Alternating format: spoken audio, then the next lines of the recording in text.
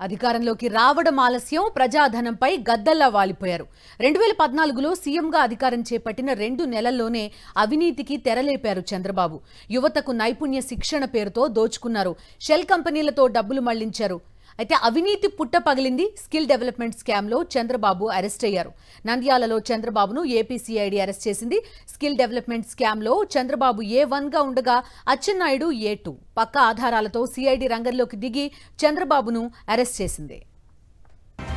చంద్రబాబు బస చేసిన Nandyal RK function hall వద్ద చంద్రబాబుకు సిఆర్పిసి సెక్షన్ ఫిఫ్టీ వన్ ప్రకారం సిఐడి అధికారులు నోటీసులు ఇచ్చారు.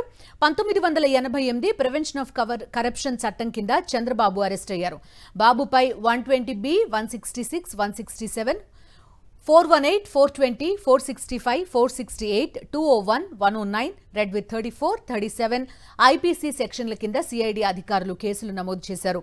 నంద్యాల జిల్లా నుంచి రోడ్డు మార్గంలో ఆయన విజయవాడ తరలిస్తున్నారు. ప్రస్తుతం కాన్వాయ్ చిలకలూరిపేట సమీపంలో ఉంది.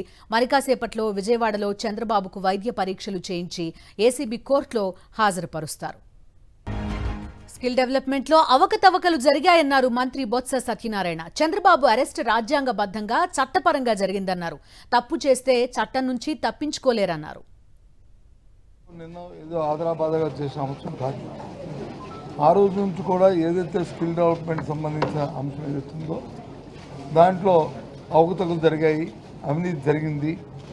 దాని మీద అని ఈడీ కూడా దాని మీద దర్యాప్తు జరిగిన సంఘటన కూడా మనం చూ తెలుసు. అందరికీ తెలిసిన విషయం ఏం ఇది కొత్త విషయం ఏం కాదు ఆ నేపథ్యంలో దాంతోపాటు సిమెంట్స్ సంస్థ కూడా ఇది మాకు సంబంధం లేకుండా ఇది జరిగింది మా పేరుని వినియోగించుకున్నారు ఉపయోగించుకున్నారు అని చెప్పని వారు కూడా దాని మీద మరి ఫిర్యాదు చేయడం కూడా జరిగింది.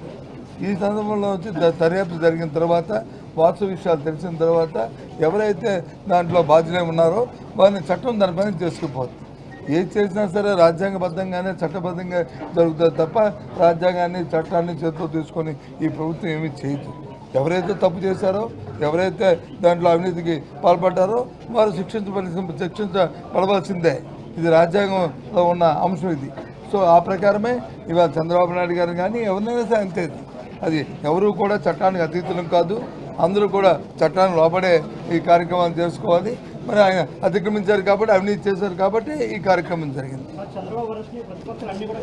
సరే ఖండించడమా ఖండించడము చేయడం అనే కంటే ఆయన ఎప్పుడు చెప్తుంటారు కదా నేను నేను నిప్పు లాంటి వాడిని లేకపోతే నేను న్యాయస్థానం ఉన్నాయి కదా న్యాయస్థానాలు చట్టాలు దర్యాప్తు సంస్థలు ఉన్నాయి కదా?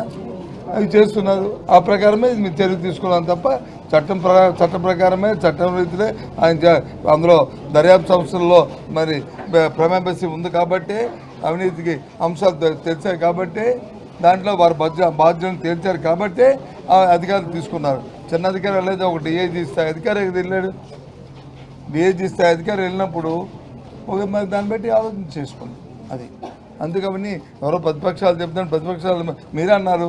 ప్రతిపక్షం అని ప్రతిపక్షం మన వాళ్ళకి ఏంటి ఇప్పుడు ఎవరైనా ఎప్పుడైనా పొగిడితే ఈరోజు వచ్చి దాన్ని వాళ్ళు ఏదో ఇంకోలా అన్నా అని అన్నాయి.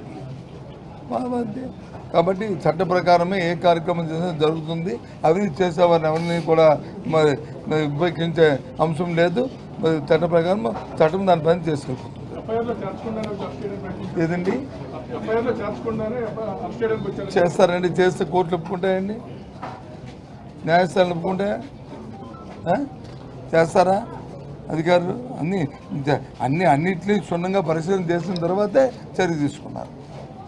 సార్ ఉంది అని అన్నారు. వాళ్ళు సరే ముందు ఎవరుంటే వాళ్ళు?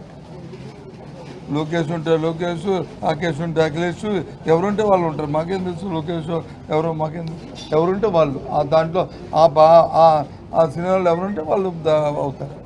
ఇది సహజం ఇది అందుకనే ఎవరైనా సరే బాధ్యతగా బాధ్యత పదవుల్లో ఉన్నప్పుడు బాధ్యతగా ప్రవర్తించి బాధ్యతతో ఉంటే ఆ కార్యక్రమాలు జరుగుతాయి. చ- చట్టాన్ని చేతితో తీసుకుంటాం మా ఇష్టం వచ్చిన అవినీతి చేస్తాం మా ఇష్టం దోపిడీ చేస్తామంటే వచ్చే పరిణామాలు ఇదే.